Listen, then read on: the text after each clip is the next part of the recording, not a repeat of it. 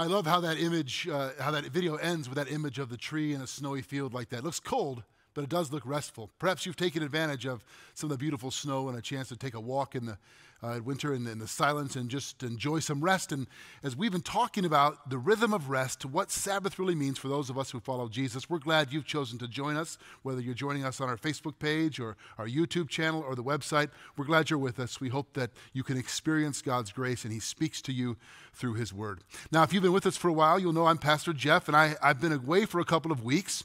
Uh, and just to let you know, because some of you have heard and some of you have been asking, my wife and I had a little getaway plan for her birthday and for mine at the first of the year. And then we came back and we found out that we were both COVID positive. Uh, so uh, we're very grateful that we've recovered. We had very mild symptoms, and we're thankful for that and appreciate the prayers. But wanted to let you know where I've been and what's been going on. Finished the quarantine and praising God that I'm healthy and able to be here with you now. Um, and it, last couple of weeks, you heard from Pastor Brian and Pastor Sterling. And let me just say, I'm, I'm so thankful for the preaching team we have here. It's a humbling thing to get to work with and lead these men as we talk through the, the passages and the texts each week. And I learn from them, I grow from them. In the last couple of weeks, it's been a privilege for me to sit under their teaching, as all of you have. And so we've been looking at this thing called Sabbath, rhythm of rest. In, uh, two weeks ago, Pastor Brian began talking about Rest or Sabbath is woven into the fabric of creation. It was there in the beginning. God orchestrated it and put it into the rhythm of how He made all that exists. It's made for us. And then Pastor Sterling last week talked to us about the command. Sabbath is, is one of the big ten, the Ten Commandments. It's unique in the, of the ten that it's the only one of the commandments that is, begins with the word remember. Remember the Sabbath day because we tend to forget. Sabbath is that weekly reminder that you don't run the world and everything doesn't depend on you. And this is something we all need to be reminded of, and we easily forget. And so we have a weekly rhythm and a reminder of who's really in charge, who's the one that we rest in, and that it all doesn't depend on us. This is what it means to remember the Sabbath day. So today, we're going to shift and look not at the Old Testament, although we could spend many more weeks looking at Old Testament passages on Sabbath. We're going to look at the New Testament, particularly the Gospels, and see what does Jesus have to say about the Sabbath. In fact, many of Jesus' teachings take place in the context of the Sabbath day, on the Sabbath day, or about the Sabbath day, and I don't think that's a coincidence. We're going to look at Mark chapter 2, verses uh, 23 through chapter 3, verse 6. There's a couple of stories put together here that give us a picture of Jesus' view of Sabbath law and what it means for those who will follow him. Let's read this passage. Mark chapter 2. One Sabbath, he was going through the grain fields, and as they made their way, his disciples began to pluck heads of grain. And the Pharisees were saying to him, Look, why are they doing what is not lawful on the Sabbath? And he said to them, Have you never read what David did when he was in need and was hungry? He and those who were with him, how he entered the house of God in the time of Abiathar the high priest and ate the bread of the presence which is not lawful for any but the priest to eat, and also gave it to those who were with him. And he said to them, The Sabbath was made for man, not man for the Sabbath. So the Son of Man is Lord even of the Sabbath. Again, he entered the synagogue, and a man was there with a withered hand. And they watched Jesus to see whether he would heal him on the Sabbath, so that they might accuse him. And he said to the man with the withered hand, Come here. And he said to them, Is it lawful on the Sabbath to do good or to do harm, to save life or to kill. But they were silent. And he looked around at them with anger, grieved at their hardness of heart, and said to the man, Stretch out your hand. He stretched it out, and his hand was restored. The Pharisees went out and immediately had held counsel with the Herodians against him how to destroy him. Okay, two incidents back to back, both involving the Sabbath. They're linked together in part because in both incidents, Jesus is questioned and challenged by these religious leaders, the Pharisees, uh, about the Sabbath, particularly about his, Jesus' understanding and keeping or lack of keeping of the Sabbath law. In the second encounter, there's this man with the withered hand in the synagogue on the Sabbath day which was the custom. He went to synagogue on the Sabbath to hear Torah read and taught and to worship God together. The Pharisees completely missed the point. This is a classic case of missing the forest for the trees, spiritually speaking. Because the Sabbath, at its core, is about restoration, wholeness, healing, being restored. That's the word actually used. The man's hand is restored. So when the man is healed, this is exactly what Sabbath is about physically, spiritually, emotionally, relationally. And they miss it, these Pharisees. The reason Jesus is so angry and so grieved, we're told, at their hardness of heart is the reality is that their hearts were more withered than the man's hand. They totally miss what's, who this is and what this is all about. And they're, they're supposed to be the religious teachers, the religious leaders, the spiritual guides of God's people, the ones who are pointing people to the God who gives life. Now, it's easy when we read about the Pharisees, and we've looked at them a number of times in recent weeks, to be, uh, to be judgmental of them, to think, what is wrong with them? How could they miss it? But as a pastor, I often need to press pause and think, what is it that I miss? Do I miss, spiritually speaking, the forest for the trees sometimes? What would Jesus say to me about the point of it all that maybe I miss? Maybe you miss. So, why do they miss it?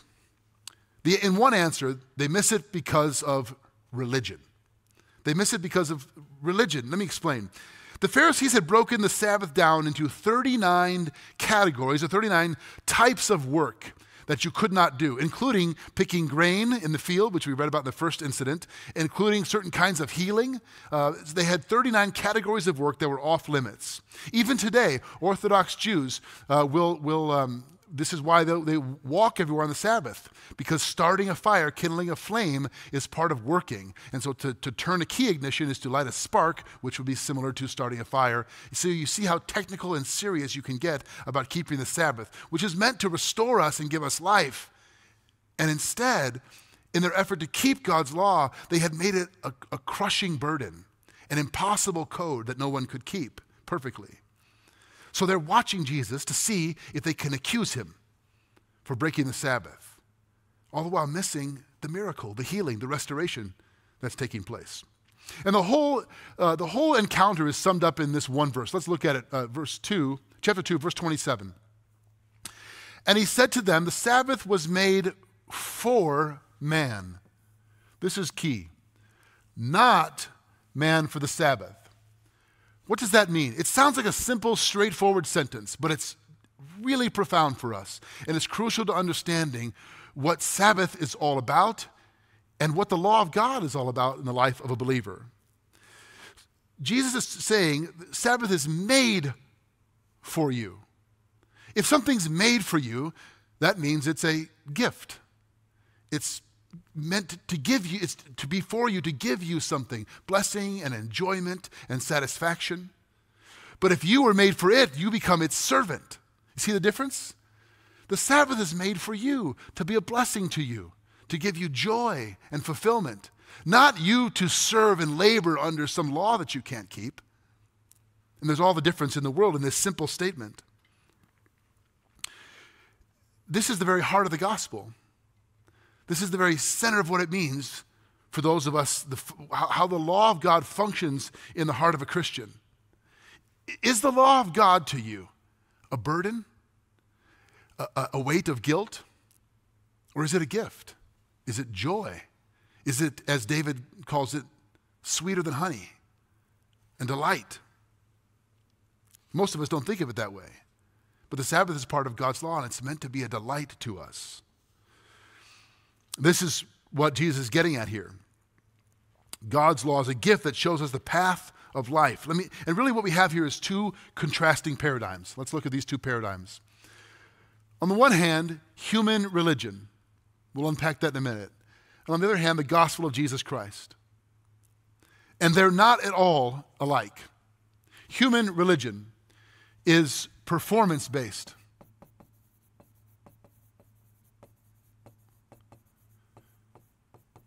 The gospel is grace based. Performance and grace are not just different, they're diametrically opposed to each other. They don't go together. The gospel of Jesus Christ is not just different from religion, it is the opposite of, it's the antithesis of. You might even say it's hostile to it. This is crucial. All human religions are essentially based on some kind of performance. I think most people in the world today basically believe that if there's a God, you relate to him by doing good, by obeying his law, by, by being a good person. All human religions function on this principle. Now, there's a million different variations. Some of them are nationalistic, meaning join this people group, become part of this tribe or this nation or this culture, and then you're in the favored, the good, the, the chosen, uh, the holy ones. Some of them are uh, spiritualistic. Have these experiences, perform these rituals, and you'll be transformed. Some of them are moralistic. Behave this way, keep these laws like the Pharisees, and then you'll be acceptable. But it's all essentially performance based. Join this group, do these things, obey these laws, follow these rules, pray these prayers. It's spiritual ladder climbing. I'm going to do and pray and say and join and be good enough to, to ascend, to balance the cosmic scales in my favor, to come out on the good side. That's human religion, and it has nothing to do with the gospel. Let me put it this way religion works like this I obey, therefore I am accepted. I do what's required, whether it's joining the group, or performing the rituals, or praying the prayers, or keeping the laws or the rules, whatever it is, I do what's required and I'm accepted. I'm a good person, so God must treat me as such. The gospel is I'm accepted. Right in my brokenness and sin, I'm accepted through Christ. Therefore, I obey. It liberates me to obey. I'm not obeying to accomplish something, I'm obeying because I've been set free to do so. Now, we talk about this all the time around here. And perhaps you're hearing this and you're thinking, yeah, yeah, yeah, I know that. I just want to caution you. Knowing it up here is not the same thing as knowing it in here. There's a drift in every one of our hearts toward religion, toward performance. You can be religious about anything. And Jesus, in these passages and all throughout the New Testament, is calling us back to the gospel calling us by his grace, inviting us to rest in him. The gospel of Jesus Christ is not just different from religion, it's the opposite of it. Let me put it to you this way Jesus did not come to reform human religion, but to put an end to it and to replace it with himself. Jesus did not come to, to reform it, you know, to clean it up, to make it a little better, to re, readjust it, to aim it in a new direction. No, to do away with it because religion is death, and to replace it with himself. That's what the gospel is. He is the one in whom we trust. You see, for the religious person, the purpose of the law is to give you the parameters, the boundaries in which you know that you're okay. You know that you're good enough, that you measure up. But for the Christian, for those who belong to Jesus, the purpose of the law is to cause you to throw yourself on the mercy and grace of Jesus Christ because you know you can't keep the law and receive his forgiveness and grace. And then, only then, does the law become a delight and a pathway to life. And learning to keep the Sabbath is really about learning to rest in the truth of the gospel, learning to rest in Jesus, the grace and the acceptance of Jesus. Learning to keep the Sabbath is to cease performing, to cease trying to measure up, and to rest in the one who has done it all for us. I, I, there's lots of ways to illustrate this. One of my favorite comes from a movie that um, some of you, by your generation, like mine and older, will know. Others of you, maybe not so familiar. I would encourage all of you, if you haven't seen it, to go and watch the movie Chariots of Fire. Chariots of Fire is a remarkable story. It's really a story about two uh, contrasting characters Eric Liddell and Harold Abrahams, both uh, British Olympic sprinters in the 1924 Paris Olympics, uh, but that's about all they share in common. Well, they both want to win the gold. They're both very talented, and they both are working very hard, so they have that in common. But here's the difference Liddell is a deeply committed Christian who has a calling to go on the mission field to China. This is Liddell on the, on on the right, your left side uh, of the image, holding the baton there. And he, um, he's a, an overachiever, you would say. Not a pretty runner, he said, but a, but a, a deeply courageous one and desperately wants to win the gold. But he won't run on the Sabbath. And interestingly, in the story, this is based on a true story, his qualifying heat in the Olympics was on a Sunday and he refused to run it. So they put him in a different race, which he eventually won. Harold Abrahams, on the other hand, on the other side here, um, he was a secular Jew um, and didn't care much to keep the Sabbath either way, but his life was wrapped up in performance. And there's a couple of salient lines in the movie that are just brilliant. They illustrate this point. Abrahams says, on the being um, warmed up by his trainer right before his uh, 100 meter uh, final in the 1924 Olympics, he says this I'm forever in pursuit, and I don't even know what I'm chasing. And when the gun goes off, I feel like I have 10 seconds to justify my whole existence. 10 lonely seconds to justify my whole existence. What a statement. He says, My whole life, I feel like I'm forever in pursuit, and I don't really know what I'm chasing. All I know is when the gun goes off, I've got 10 seconds to, to prove that I matter, that I'm somebody, to justify my existence. Listen to what Liddell says. There's this scene for Liddell when he's with his sister Jenny, who, who doesn't want him to run. She thinks it's a waste of time. She wants him to go serve God on the mission field in China. And he's trying to explain to her why, why God has called him to do both. And they take, he's from Scotland, they take a walk in the hills of Scotland. It's a beautiful scene. And he says, Jenny, I've decided. I'm going to China to serve God. And she's pleased. And he goes, But I've got a lot of running to do first. And she's all de- depressed. And he says, You've got to understand, I believe that God made me for a purpose but he also made me fast. And when I run, I feel his pleasure. Oh, I love that line. I think about it often. What a contrast. When I run, I feel his pleasure, the pleasure of God, versus I've got 10 seconds to justify my whole existence. You see the difference? That's the difference between the gospel and religion. Let me ask you When's the last time you felt the pleasure of God in your life? You felt God's pleasure in you, surrounding you, holding you. Or maybe you relate much more to Harold Abrahams. My whole life I'm in pursuit and I don't even know what I'm chasing. I'm trying to prove and justify my existence. Sabbath is all about feeling the pleasure of God enjoying him, resting in him. That's why God, it was, that's why it was made for us, Jesus says. You see how these two paradigms are totally opposed to each other. You might even say these are hostile to each other. They, they can't coexist. You can't have a little religion and a little gospel. They, they, they, they're at war in our soul. It's one or the other.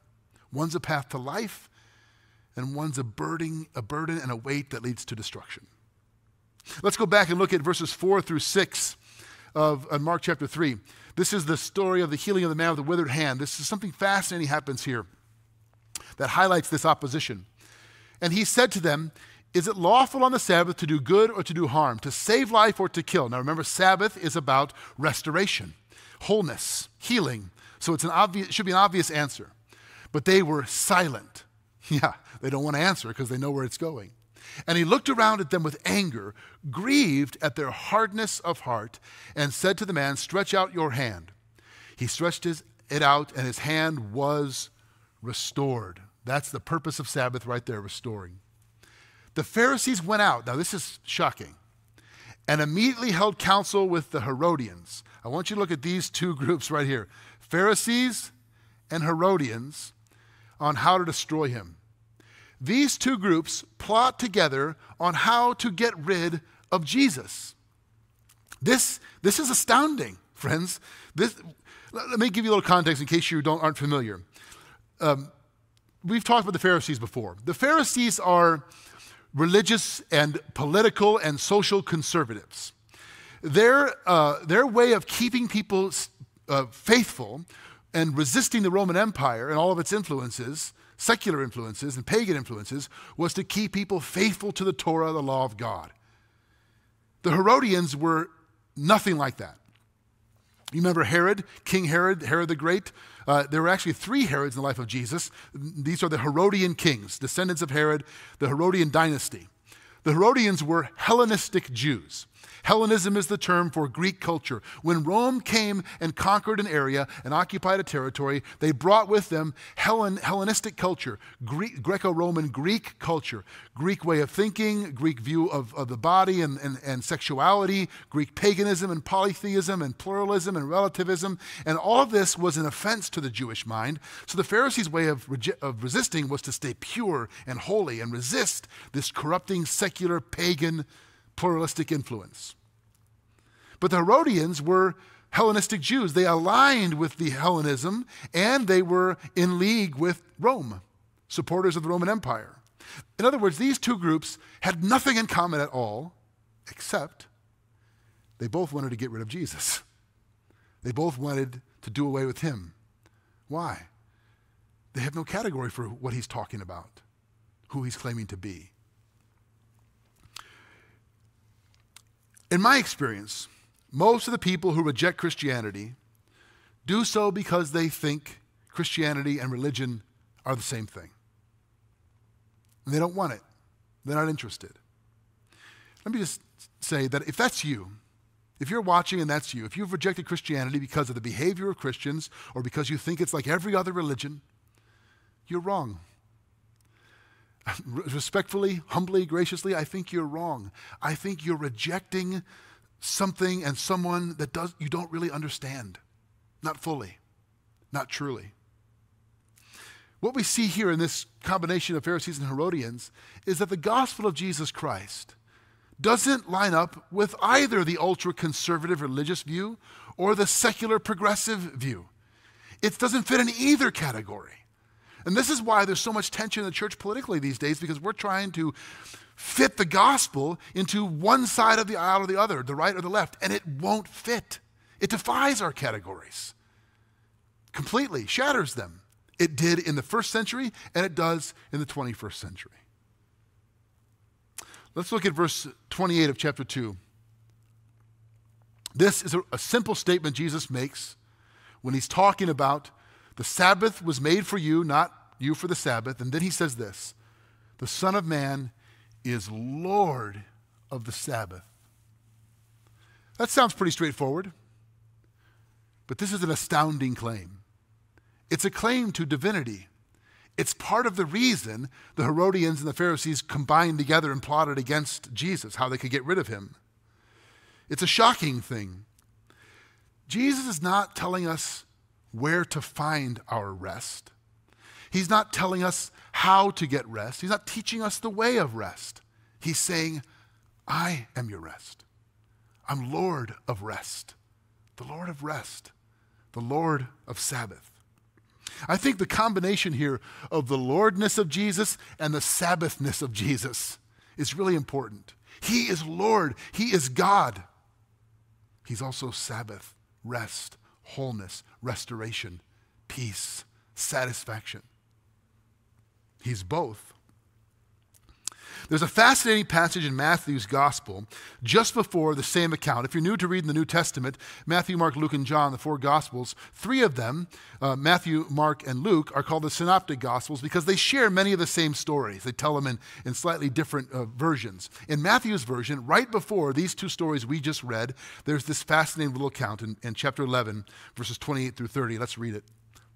Jesus says this Come to me, all who labor and are heavy laden, and I will give you rest. Take my yoke upon you and learn from me, for I am gentle and lowly in heart, and you will find rest for your souls. For my yoke is easy and my burden is light. Boy, if you, if you um, like to highlight or underline or memorize, I would just encourage you circle, star, highlight, underline this passage. Commit it to memory. This is deeply profound. It goes to the very heart of the gospel we've been talking about. Let's unpack it. Here, the Lord of the Sabbath is giving an invitation, a call to rest. Come to me, he says. And we can't respond to this invitation unless we understand what this is all about, what he's really saying here. When the Bible calls us to rest, there are really uh, a couple things going on. Um, first, uh, there, there's two levels. The first level is to stop or cease activity. We've talked about that the last couple of weeks. God rested from his work. He ceased the work of creation on the seventh day. We're commanded one day a week to set aside our, our striving and our frantic running around trying to earn it all and achieve it all and accomplish it all, and to remember who, who we belong to. Stop something. But the deeper meaning is to be satisfied in. Let me explain. Why did God rest on the seventh day? Why did God rest? Well, obviously, not because he was exhausted. He's omnipotent, he never gets exhausted, he's the all powerful one. So he wasn't tired, he didn't need to refuel. Neither is it really to give us an example. I mean, it is an example for us, but he didn't rest just to show us what to do. Let me give it, put it to you this way. Recently, I, I like to watch uh, random YouTube videos of people that are good at building things. I'm not very good at that, but I imagine that I am. And I was watching a series of, of uh, YouTube videos about this guy building cabin in the wilderness, in the Alaskan wilderness. Dick Proenneke, perhaps you've seen it, One Man's Journey in the, in the Alaskan Wilderness. And then I got kind of into the rabbit hole of watching videos of guys building and living in their off-the-grid life. And I watched the video of this guy building this uh, beautiful wooden canoe gorgeous, fashioned it, shaped the wood, hollowed out parts of it, and built it. And I watched him seal it, and all with natural and with hand tools. And I just thought, wow, it's amazing. And when he finished it, what do you think he did? What do you think he did with that beautiful canoe he built? Well, of course, he just hung it on a wall and walked away. No. He took it for, he went out in the canoe on this beautiful stream out onto this lake, paddling away. That's what you do. Well, think about that. The work of creating the canoe, building it, creating, and then you, at, at some point, that's finished. You cease that, and what do you do? You step in. You go for a, a ride. You enjoy it. You, you're satisfied in it. You experience it. So uh, there's a sense in which when God rested on the seventh day, it's because there was no more work to do. It was, it was very good, he said. And he's satisfied in his creation. He enjoys his creation. And in a sense, what the Bible's saying to you and to me is that when we practice Sabbath, we're stepping into the canoe. We're getting in and going for a paddle with God, resting in Him, enjoying what He has done. What did Jesus say on the cross when He hung there? It is finished. It's finished. I've accomplished it. You and I can't add anything to that. All of our striving, all of our performing, all of our effort adds nothing. In fact, it only detracts from it. The only thing we can do is step in and enjoy and be satisfied and know that we rest in what He has done. That's the offer here to you and to me. Notice, who does Jesus say his rest is for? He says it's for all who labor and are heavy laden. The New International Version says, All those who are weary and burdened. All who are weary and burdened. Well, anybody weary? Do I even have to ask? Anybody feeling a burden? Carrying a burden? That's all of us. We're all weighed down. We're all weary and heavy laden, and we all labor in all seasons particularly in this season, I think we're more acutely aware of our weariness and the heaviness that we all carry. So, Jesus' answer to our burdens is something he calls a yoke. Jesus' answer to our burdens is his yoke. Remember what he says? Take my yoke upon you, for my my yoke is easy and my burden is light, he says. Now, it's not an egg yolk, Y O L K, but a yoke, Y O K E, a yoke for oxen. You'll see an image of a yoke here. To be yoked is to be joined to and pull in, head in, go in the same direction. That's why the oxen are bound into this yoke and driven. They're pulling in the same direction. So This is obvious if you grew up on a farm or you've seen images of this, and it was certainly obvious in Jesus' day. But it came to be a metaphor that rabbis used for those who came to be their disciples. If you wanted to be a disciple of a rabbi, to follow this rabbi with your life, then you took on that rabbi's yoke. You were joined to, bound to, pulling in, going in the same direction as that rabbi, meaning you willfully submitted to the teachings, interpretations, traditions, and way of life of that rabbi. That's his, that was what they meant by his yoke. The Pharisees, their yoke was so heavy. Now, out of a desire to keep the law, they created a religion that was a burden, that was crushing people. And Jesus is saying, why don't we trade yokes? Why don't you give me that one, and I'll give you mine? See, all who are weary and heavy laden, there's nobody that's uh, out from under this. We're all carrying a burden.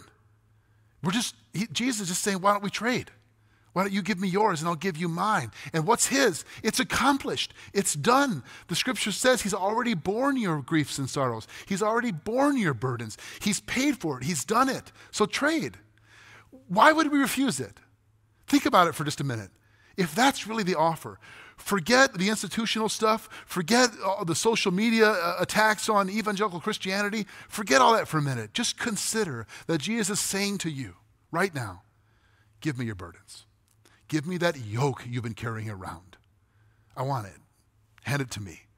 And take mine on you because it's light and easy and you'll find rest. Why would you refuse that? To refuse it is, is it's like a, a drowning man at sea. And you throw that person a life preserver, and they say, What are you doing? It's hard enough to keep my head above water here drowning without the burden of a life preserver. It makes no sense, right? Of course, you receive that. It's life, it's salvation, it's hope.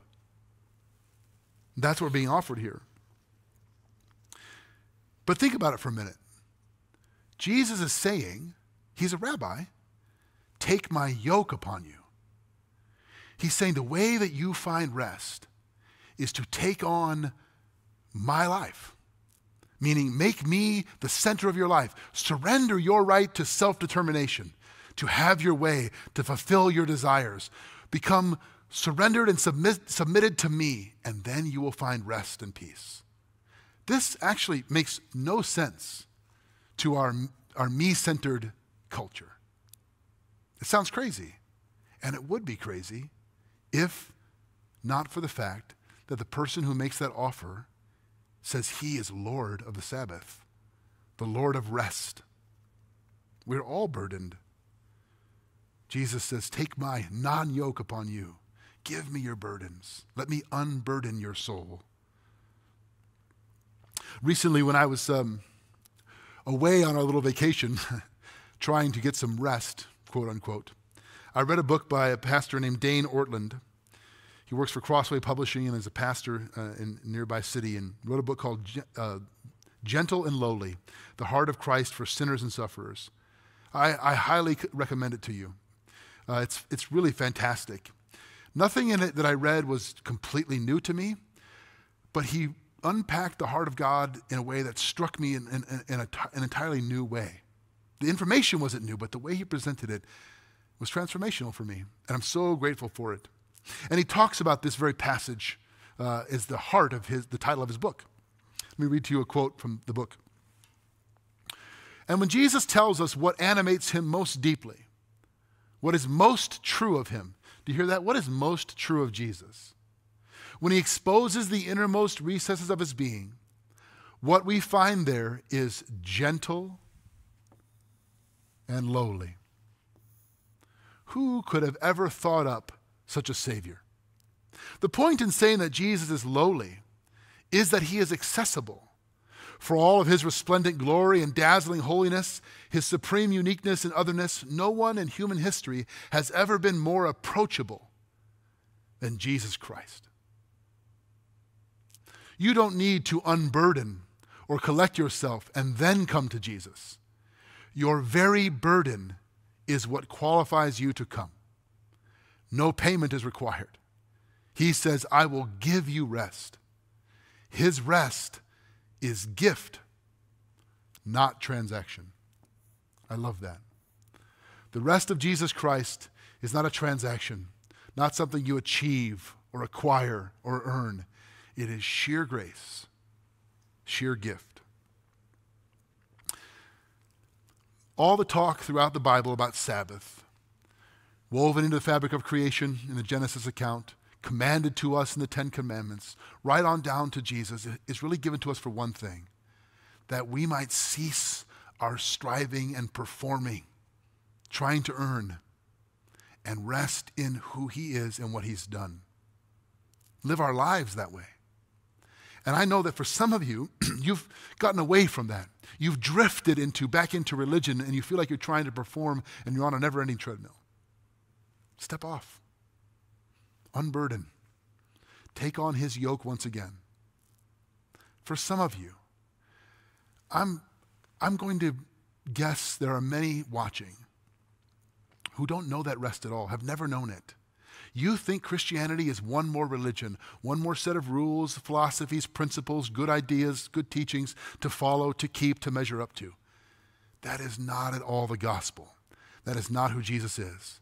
He didn't give, come to give you more advice, to be your life coach, to give you a set of rules. He came to give you life in Him, in what He has already done. I urge you, if that's you, turn to Jesus. Turn to Him now. He will receive you freely. He alone will unburden your soul. He alone will heal and restore the broken parts of, of your life and your heart. He alone will give you rest. He alone is Lord of the Sabbath. Make him your Lord and your Savior today. Let's pray together. Lord Jesus, you are Lord of the Sabbath. Forgive us for seeking our rest in all the wrong places. Forgive our striving and performing and our self sufficiency. Lord, help us to take off the burden and the yoke of our past sins, of our impossible standards, of our shame, of our, the abuse we've suffered, all those things we carry around which weigh us down. You take from us by your grace. Teach us by your Spirit to rest in you. And Lord, for those hearing this right now who don't know your grace and mercy, I pray right now they would turn to you. You will receive them. You do receive them. You forgive. You heal. You restore. That is what Sabbath is about. And that is what you call us to. All who weary and are burdened, may we turn to you, Lord Jesus, and find our rest. Amen.